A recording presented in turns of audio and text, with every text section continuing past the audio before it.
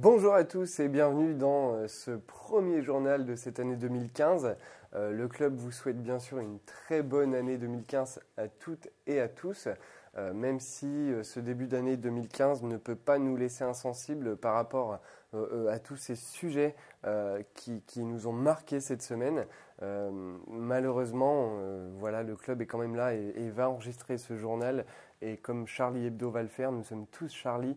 Et cette semaine, nous aurons euh, ce, journal Charlie Hebdo. Et euh, il faut tous d'ailleurs le réserver, puisque nous ne pourrons pas, euh, à mon avis, de l'acheter sans le réserver. Salut Fred. Salut. Bonne année à toi.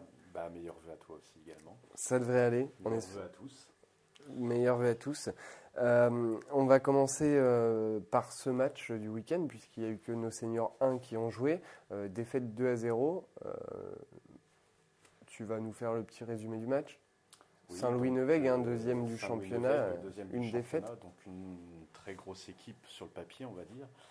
Et une défaite 2 à 0 logique, je dirais pas logique parce que au regard du match, euh, c'était quand même très très très accroché des deux côtés et on va dire on va dire que c'est deux, deux erreurs d'inattention qui font que on se prend les deux buts et, voilà quoi. C'est vrai que depuis le début de l'année, on remarque quand même que l'écart entre deux équipes est très faible. Hein. Ça se joue sur des détails et là c'est, bah, c'était criant. Euh, de voir ça. Une grosse performance hier de nos joueurs face au deuxième du championnat. Euh. Une grosse performance. Moi, je t'en parlais à la fin du match en disant que moi, j'ai. C'est euh, des matchs à domicile que j'ai vus, c'est un des plus beaux matchs que j'ai vus par le, par le jeu développé, par le, l'esprit, euh, enfin tout y était quoi. Donc c'est vrai que c'est désolant parce que c'est encore une défaite, mais je me dis que voilà, on a quand même, on, a quand même du répondant. Donc, euh, et deux buts, deux buts très rapprochés hein, en deuxième mi-temps. 4 euh, ou 5 minutes d'écart, je crois, hein, sur les deux buts, euh, malheureusement. Bah, c'est vrai qu'en première mi-temps, moi j'avais remarqué qu'on avait eu un, ascendant psychologique qui avait été fait. On, les a fait douter, quoi. On les a fait douter parce qu'ils ont poussé, poussé, poussé. Et puis il arrive un moment où on les a maintenus, ils, ne développaient plus rien. Et on les a maintenus au milieu de terrain et on arrivait par quelques percées à, les mettre vraiment en danger. Donc je me suis dit vraiment qu'il y avait quelque chose à faire en deuxième mi-temps, surtout qu'en plus on avait le vent favorable parce qu'il y avait quand même mmh. un vent très fort, assez remarquable. Euh, je me suis dit il y a quelque chose à faire et puis malheureusement une erreur d'inattention en tout début de deuxième mi-temps fait que ben il marque, euh, il marque quoi. Donc euh, ça c'est dommage. Ça laisse quand même de l'espoir hein, pour ce maintien. Hein. Il va y avoir des points à aller chercher euh, qui vont être très importants contre les équipes, euh, mhm. les équipes directes. Hein. on a, il y a, y a, Colmar, Forbach, Ilzac, toutes ces équipes-là qui jouent le maintien aussi. les matchs retour contre eux vont être très importants. Oui, tout à fait. Tout à fait. Voilà. Ensuite, on a nos U11 qui étaient en tournoi futsal aujourd'hui. Oui, les U11 qui faisaient un tournoi futsal à Saint-Martin-la-Veuve, donc avec des grosses équipes comme le CO Chalon, Épernay, euh, l'Estac, Tessy, et puis donc bah, cinq équipes de Saint-Martin. Donc ils étaient en tout 20, une vingtaine d'équipes, et notre formation termine 12e, donc sur 20. Donc une, j'ai discuté un peu avec Christophe, euh, déçu comme à chaque fois parce qu'il aurait aimé mieux, mais enfin c'est voilà, très belle performance des U11 et puis qui continue comme ça. Quoi. Et puis c'est bien d'aller euh, prendre un petit peu d'expérience comme ça, de rencontrer d'autres clubs aussi. d'autres clubs. Bon, il, était, il avait été un peu déçu parce que tous les clubs parisiens ne, s'étaient pas déplacés. Parce qu'il y avait quand même le Paris FC, euh, enfin, des, grosses équipes de, la région parisienne qui étaient invitées. Bon, ils ne se sont pas déplacés. Enfin bref, voilà, c'est. Euh, on est invité maintenant du fait que notre équipe est en CFA2, on est invité, euh, on, a, la chance de pouvoir participer à des gros tournois comme ça, donc euh, on aura l'occasion de les rencontrer plus tard. Euh, on a quelques matchs aussi le week-end prochain, des matchs amicaux, les l'UFOLEP aussi qui jouent. Mmh. L'UFOLEP qui joue donc un match en retard face à Buchère dimanche au stade Émile Buc. Euh, donc à 9h, 9h30 plutôt. Euh, donc euh, ben, si vous ne savez pas quoi faire dimanche prochain, n'hésitez pas. on, a... on, a... également les U15 hein, qui seront en tournoi à Langres. et donc les U15 du Folep. Et puis après en senior, je ne sais pas exactement ce qu'il y a. Hein. Il y a bah, les, seniors 1 ne jouent pas. Les seniors 1 ne jouent pas je, Il me semble que non. Donc euh, on reverra ça au cas où euh, on fera un petit truc en fin de journal et puis euh, Morgan nous le dira. Mais il me semble qu'il n'y a, pas de match senior puisque ça doit être la Coupe de France, me semble-t-il.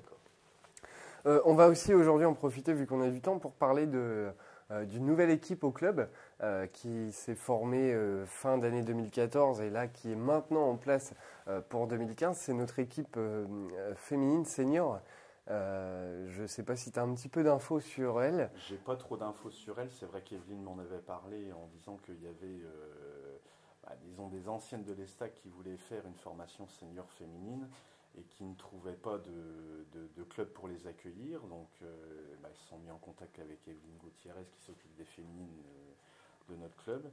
Et puis voilà, donc on a réussi à trouver un terrain d'entente. Donc ils s'entraînent ici à la Caille le jeudi soir pour des compétitions qui normalement devraient commencer début 2015. Donc c'est un championnat interdistrict et apparemment il y a beaucoup d'équipes de, de, régions, de la, région Bourgogne qui sont dedans.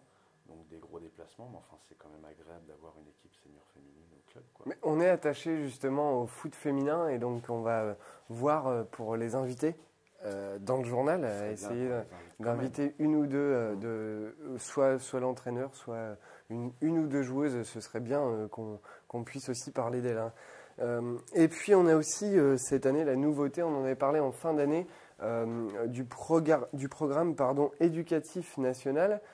C'est fédéral, oui, fédéral, qui est à mettre en place. Et en plus, c'est toi, donc, à mon avis, tu es, euh, le mieux placé pour en parler.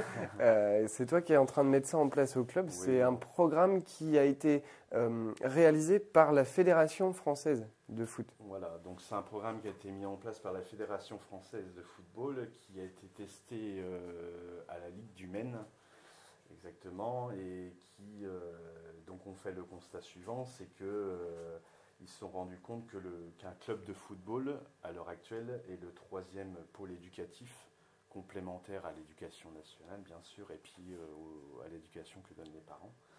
Donc ils ont, euh, ils, se sont aperçus qu'il faut, que le club de foot fallait. C'est dur à en parler comme ça. c'est pas évident, hein. c'est un gros dossier. Tiens, euh, pour info, on peut, on, peut, quand même le montrer. Hein. Tu as, un dossier sous les yeux, mais il y a quand même un, gros dossier encore plus, plus important. Voilà. Donc, là, on fait bref. Excusez-moi, je vais vous lire quand même un, un petit texte. Bon, je vais je vais essayer de, regarder la caméra, ça ne va pas être évident. Donc, euh, donc, une étude récente a montré que les clubs de football représentaient le troisième lieu éducatif complémentaire de l'autorité parentale et de l'apprentissage scolaire. C'est renforcé par ce constat que la Fédération française de football a lancé cette saison le programme éducatif fédéral. Né d'une opération menée par la Ligue du Maine et la Fondation du football, ce programme consiste à fournir aux clubs qui le souhaitent des supports pédagogiques pour la mise en place d'une programmation éducative sur l'ensemble de la saison. Une action qui s'inscrit dans la mission du club, parallèlement à son projet associatif et sportif destiné aux licenciés U6 à U19. L'opération vise à faire acquérir aux joueurs des compétences éducatives en fonction de leur âge. Pour ce faire, une boîte à outils, donc Morgan a montré le classeur, euh, une boîte à outils euh, sous la forme d'un kit pédagogique a donc été imaginé et décliné en six thèmes. Donc nous avons la santé, l'engagement citoyen, l'environnement, le fair play, l'arbitrage et la culture foot. Donc pour chacun d'eux, des fiches pratiques ont été conçues euh, de façon à accompagner l'éducateur dans la transmission de ses messages éducatifs auprès de ses joueurs. Voilà. Un gros travail à effectuer pour un club comme nous. Un gros travail à effectuer comme pour un club comme nous, parce que c'est vrai que bon, bah, c'est tout nouveau, donc il faut le mettre en place. Euh, sachant que bon, c'est un programme qui était destiné normalement à commencer au mois de septembre, alors que bah, on a reçu les documents qu'au mois de décembre, donc euh, il y a un gros rush à faire euh, pour entamer ce, programme. enfin voilà, on s'y inscrit parce que quand même quelque chose de C'est intéressant. C'est intéressant. Pour, pour, pour, euh, pour, tout le monde, quoi. c'est vrai que quand on y réfléchit, on a quand même une part éducative qui est quand même assez importante quand on s'occupe d'une équipe.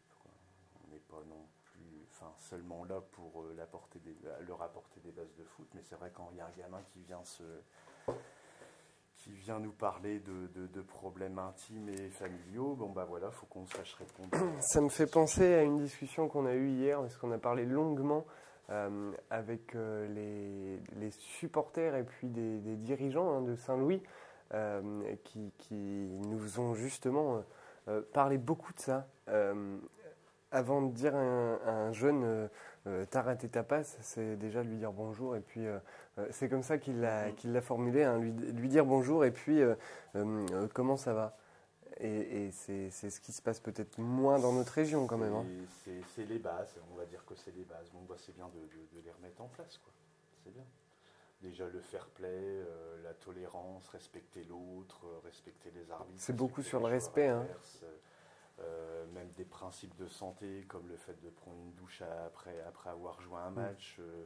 Euh, c'est des trucs tout bêtes, mais c'est vrai qu'on n'y pense pas forcément. C'est vrai que des le font. Il y, en a mm. certains qui le font, euh, qui le font par réflexe, mais euh, voilà, il y en a qui le font pas forcément. Donc c'est bien de rappeler des, petits principes comme ça. Bon, les principes de base. Voilà. Ça va pas très loin, mais c'est voilà, c'est essentiel, je pense. Il arrive un moment, c'est essentiel. Et donc, comment tu penses préparer ce projet? Bah déjà, Pour une fois, je t'interroge, hein, je te fais chier là. Oui, je sais. bon, il faut savoir qu'en parallèle, il a, été mis en, il a été mis en place par la Fédération française de football et puis par le districo des, des réunions de travail. Donc il y a une réunion de travail qui va avoir lieu euh, dans 15 jours, donc, j'ai été convié. Donc euh, normalement, bah, c'était euh, pour voir un peu, faire le bilan de la première partie de la saison, mais sachant qu'il n'y a rien qui a été fait actuellement, ça va être compliqué.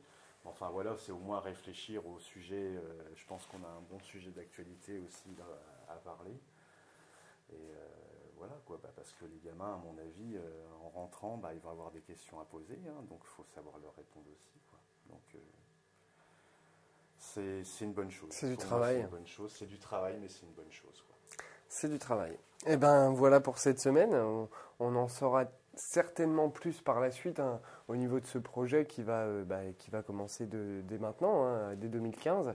Euh, il va y avoir un gros travail au niveau des éducateurs, des dirigeants, euh, de fait pour, pour justement accompagner tous ces jeunes et tous ces jeunes qui après deviennent seniors et qui, qui participent aussi à la vie du club. je retiens aussi un petit message que j'ai envie de dire dans le journal. C'est quelqu'un de Saint-Louis justement qui a dit ça hier quelqu'un qui aime le foot mais qui ne sait pas jouer au foot et, et comme il nous a dit, euh, mais faut que j'arrive à le faire, faut que j'arrive à le faire. Mais si tu sais pas courir et courir après un ballon, eh ben tu fais les merquesses, hein Voilà. Donc euh, on, on, a vraiment retenu ça et euh, on est pressé d'aller d'aller à Saint-Louis pour ce déplacement puisqu'ils nous ont promis un accueil et comme l'accueil qu'on a beaucoup en Alsace qui est, qui, est, extraordinaire donc. Euh, voilà, ils sont, ils sont Charlie aussi. Hein. Voilà. Ils sont Charlie. Ils sont Charlie. Voilà pour, euh, bah, pour cette semaine. Euh, rien à rajouter. Juste une petite note, si, une petite note quand même. On, on, a quand même un événement qui se passe aujourd'hui. C'est l'anniversaire de la petite Eloa Moison. Donc, bon anniversaire à elle. Hein, C'est vrai. papa. Les un an de ma petite, oui, on effectivement. le champagne, bien sûr. c'est une blague. non, non, c'est pas une blague. Les un an de ma petite. en, ce... en ce lundi 12 janvier, oui, en effet, euh, il, y a, il y a un an. Euh, un an, je t'appelais en pleine nuit pour euh, t'occuper des U17. Puisque, oui, voilà, c'est ça, je me suis occupé des U17. je partais à l'hôpital justement pour, pour être, pour être présent. Un bon anniversaire, toi, ma petite, ma petite chérie, et puis aussi à ma femme. Euh, qui a un an a dégonflé. Voilà. et ben voilà pour cette semaine, sans oublier qu'il euh, vaut mieux que l'encre coule que le sang. Euh, une grosse pensée à toutes ces victimes de, Charlie Hebdo et puis tout ce qui s'est passé cette semaine. c'est très touchant et, voilà, l'encre coule mais pas le sang et on continue à, soutenir tout ça et, et c'est voilà, très prenant.